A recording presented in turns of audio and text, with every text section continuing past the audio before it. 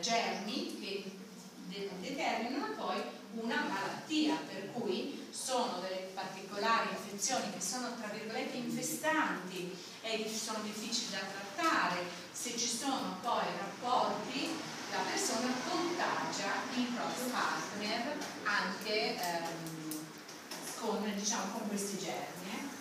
Per cui noi dobbiamo utilizzare sicuramente un'igiene